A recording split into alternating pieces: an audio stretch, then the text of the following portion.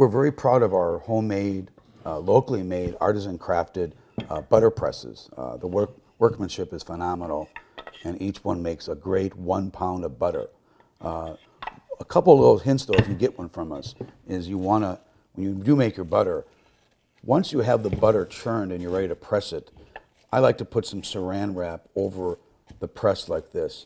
And then when I put all my butter in there, and then I go down to press down, I'm not making a mess of, of the press as much. It's less, less walk, washing and less cleaning.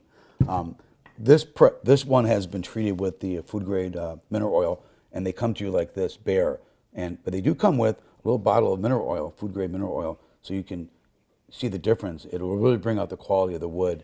Um, the workmanship is just phenomenal. We're very proud of these, and they're very, very popular. So you'll enjoy using one of our um, custom-made uh, Uh, butter presses for years to come.